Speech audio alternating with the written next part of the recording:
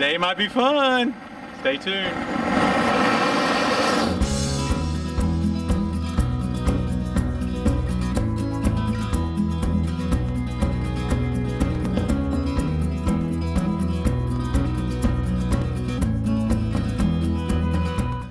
Welcome back friends. So a couple of weeks ago, a company called Diversified Power who distributes the Gas Stop product reached out to us to see if we'd like to be brand ambassadors and we said sure we'll take a look. We'll uh, we'll check out what you got. I've heard of gas stop before.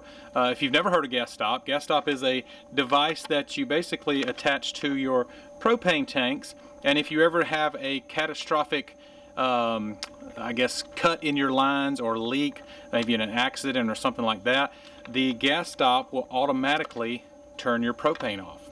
So I thought it would be fun to test the gas stop. Let's see if this actually works. There's no reason for me to actually put it on my propane tanks if it, I don't even know if it works. So I've never seen anyone test these things. Let's get started. Okay, so how are we going to test this gas stop without cutting up our propane lines? Well, I've got a perfect way. This is my weed killer here. This is a, uh, the website says this is one, a half million BTU uh, propane torch. I do use this to clear weeds sometimes and uh, to burn brush and it's just fun to have sometimes. Call me crazy. But as you can see we've got it hooked up to a 20 pound propane tank. I'm going to show you what happens. Now when I light this obviously it's going to start uh, it'll be well under the 75,000 BTUs that the gas stop engages at. So the gas stop will engage at 75,000 BTUs output and it will cut everything off. But before that, you'll see, also, let me go ahead and light it up here. All right, so you'll notice this is well under 75,000 BTUs, but if I pull the trigger, that changes real quick, okay? So what we're gonna do here is I just showed you what happens when I pull the trigger without the gas stop. You can see no gas stop right here. That's fun, huh? Now, let's put the gas stop on it and see if it'll cut this thing off once it surpasses 75,000 BTUs. Okay, so the gas stop is ridiculously easy to install. Basically, um, all I'm going to do here is just take this off and it's opposite threads here. So always remember that if you've got a, a propane fitting that goes inside, it's a opposite threads, all right? Make sure I'm closed, I am. Okay, there's that. Now, all we do is we pop this on here.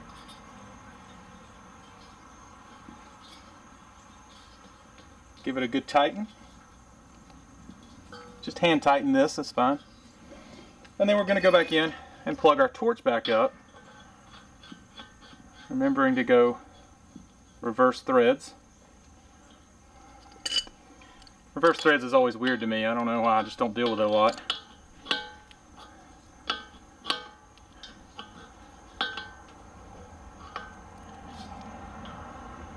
All right.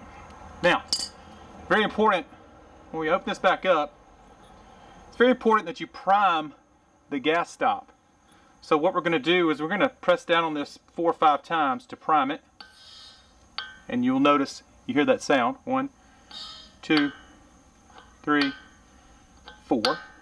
Okay, now I'm primed and ready to go. Let's see if it works. Okay, our gas stop is hooked up, ready to go. I'm going to turn the torch back on. Let me see if I can get this thing going one-handed. There we go.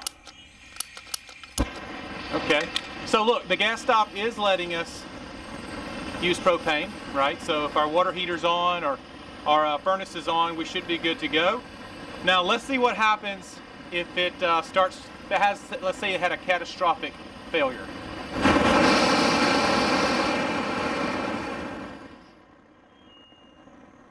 I'm holding the trigger down still.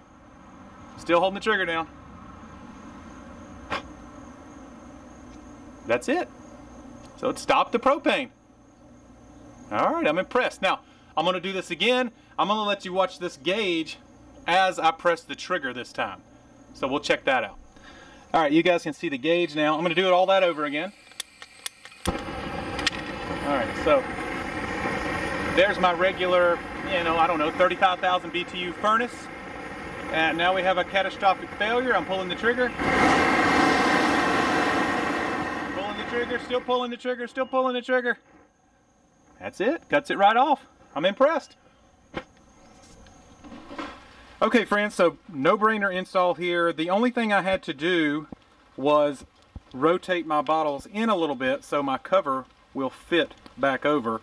Um, obviously I'm adding probably a good three inches here on the outside of my fitting here. So it would be tougher for me to get my black cover back over the bottles. But you turn them in like that, you tighten it down good. These are super secure now, they're not going anywhere. I'm happy with that. Uh, yeah, that's a no-brainer and they work. We know they work. And so we're not wasting our time here. This is a nice little safety net. If you are interested in the gas stop go to I'll link it in the description box below. Go to diversifiedpower.com and uh, in the checkout you can put in the code WANDER10 and they're going to give you 10% off.